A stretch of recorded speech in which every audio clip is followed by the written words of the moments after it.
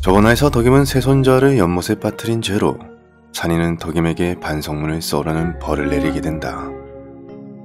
아울러 덕임은 동궁전의 낡은 서고를 정리하는 일을 맡고 있으며 부업으로는 필사일을 의뢰받아 해주고 있었다.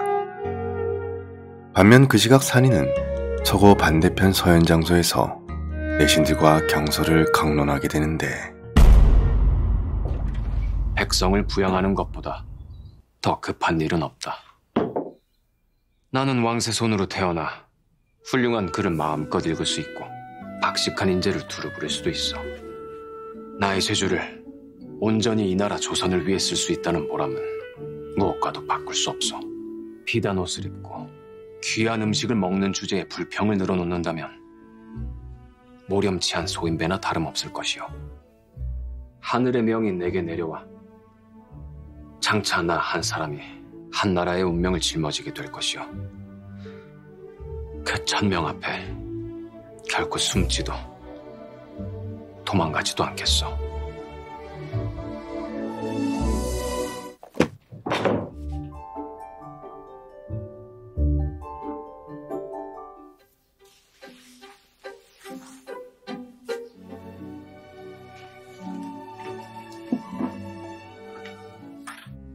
산이가 있는 서현 장소는 덕임이 있는 서고와 거리가 가깝기 때문에 서고에서는 강론하는 내용을 들을 수 있을 만큼 매우 가깝다.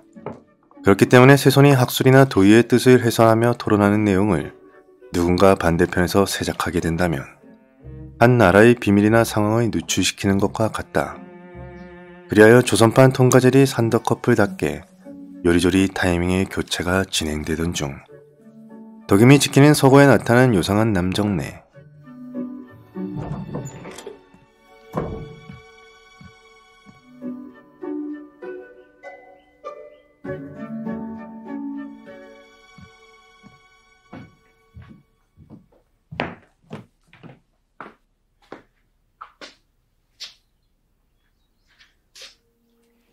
한편 겸사서 홍덕로는 산이 조부인 영조를 찾아가게 된다.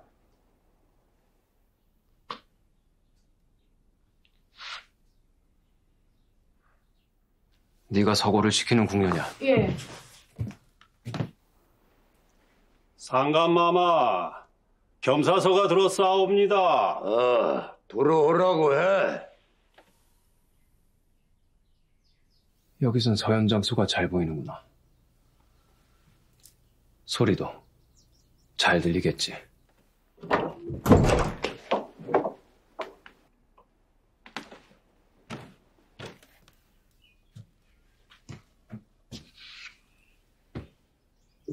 근래 수상한 것을 보거나 들은 적 있느냐? 예?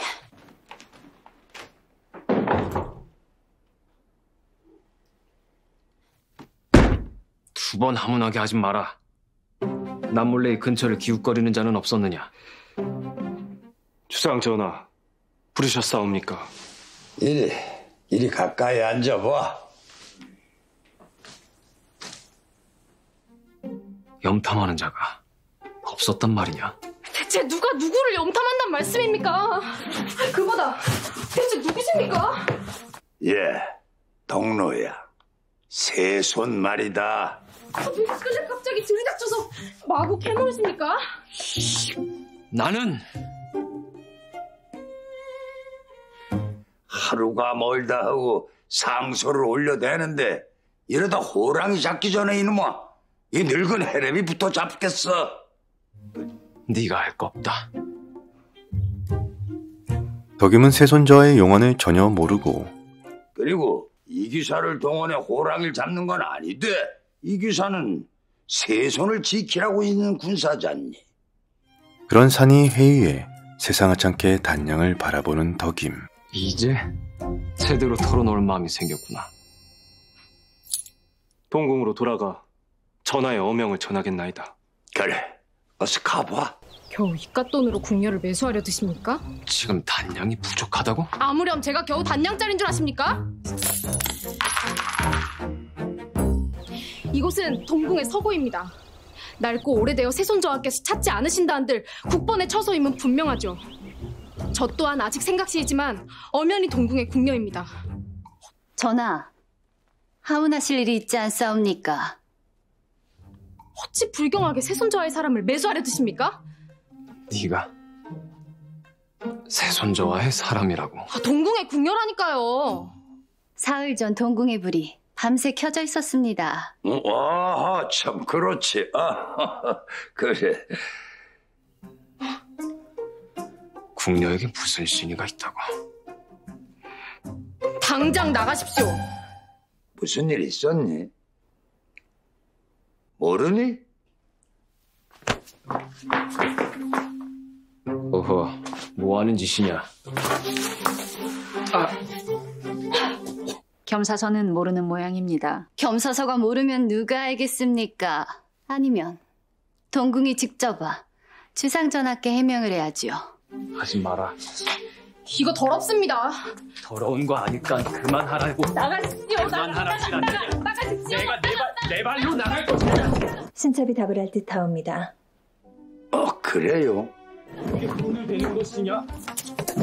어허, 잠시만 기다려보라지 않았느냐? 이런 무엄하다. 곧 궁녀들의 축제가 있습니다. 신첩이 직접 니누한 일이지요. 어, 궁녀들만의 놀이인데 몰래 구경하는 이들이 많습니다. 아마 세손도 밤새 구경을 했나 보옵니다. 내가 누군 줄 아느냐?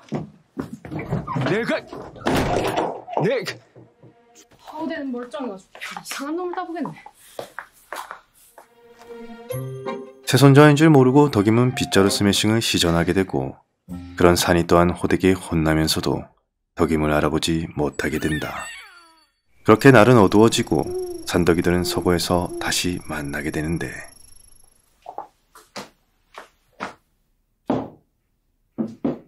밤중에도 필사일을 하느냐?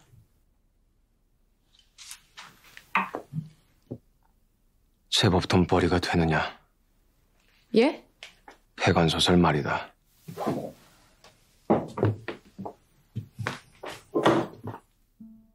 제가 책 읽는 건 어찌하셨습니까? 궁녀 처소에 가셨습니까?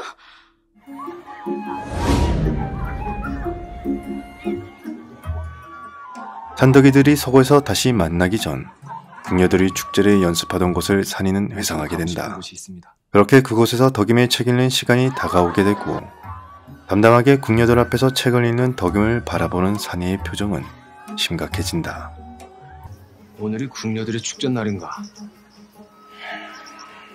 신들이 났구나.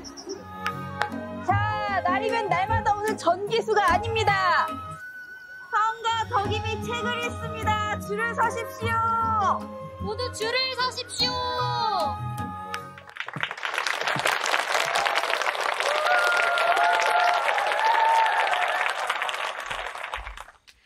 오늘 읽어드릴 소설은 한 제후국 왕실에서 있었던 두 형제의 비극에 관한 이야기입니다. 자해가 깊어질수록 증오가 무르익는다. 어린 아우야, 너는 나를 죽이기 위해 태어났구나. 너와 나는 형제이기에 서로가 닮았거늘. 어찌하여 우리의 처지는 이리도 달라졌는가? 어서 가거라.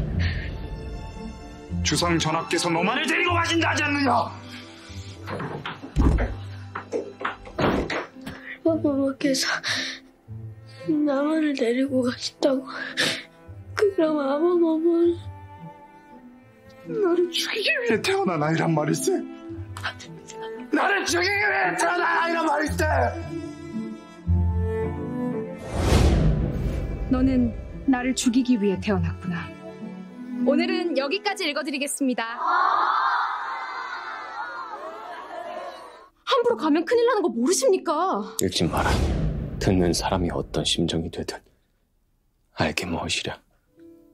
넌 사람들에게 책을 읽어주면 아니 될 사람이다.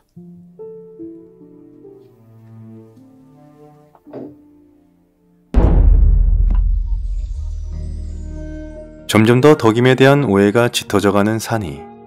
그런 덕임은 산이 태도가 매우 무례해 보인다. 알고 보니 시간이 많지 않더구나. 어쩌면 티격태격 밝기만 해 보이는 이 둘의 지금의 모습이 마치 하늘에서 내리는 빗물처럼 서글퍼 보이는 건 아마도 옷소매 끝을 붉게 물들여 입은 그녀의 운명 때문에 그러는 것은 아닐까. 다음 내용이 궁금하다면 구독과 알림 설정은 꼭 잊지 말아주세요. 저는 그럼 다음 화에서 찾아뵙도록 하겠습니다. 영상이 마음에 들었다면 구독과 좋아요는 사랑입니다.